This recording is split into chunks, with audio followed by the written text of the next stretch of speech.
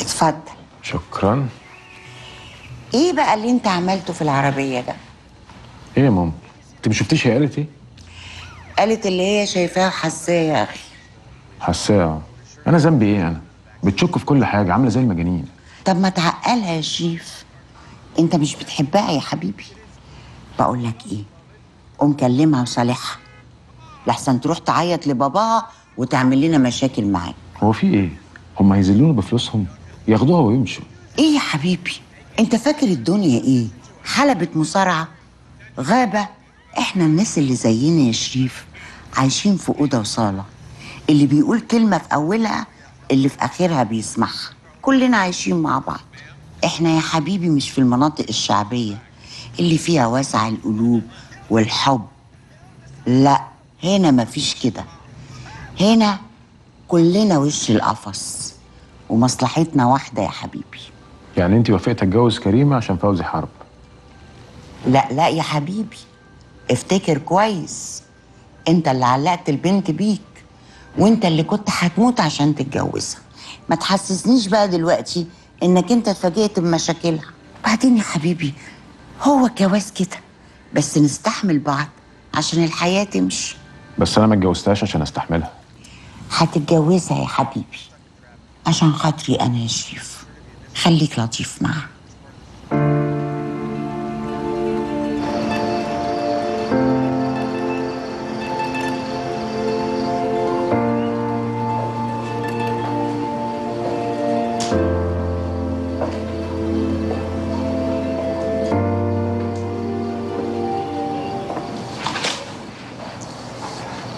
مالك يا حبيبتي؟ مفيش يا بابا. شديت شوية مع شريف. خايفة يكون هو صح وأكون أنا بشك فيه زيادة عن اللزوم. اوعي تغلطي روحك ولا تسمحي له يشككك في نفسك.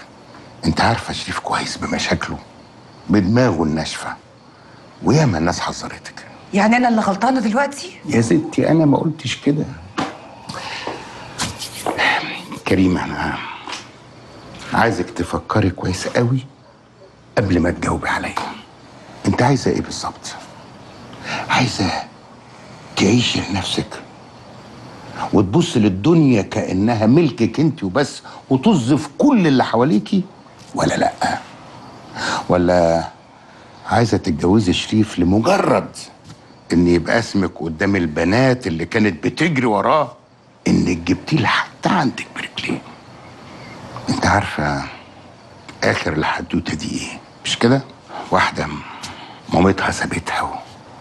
واتجوزت واحد تاني وعايشة بره وأبوها قاعد جنبها معاها بيتحسر على بنته اللي مش عارفة قيمة نفسها. وتتحسر عليا ليه؟ أنا مش عايزة حد يتحسر عليا. أنا مش عايزة حاجة من حد. سيبوني لوحدي.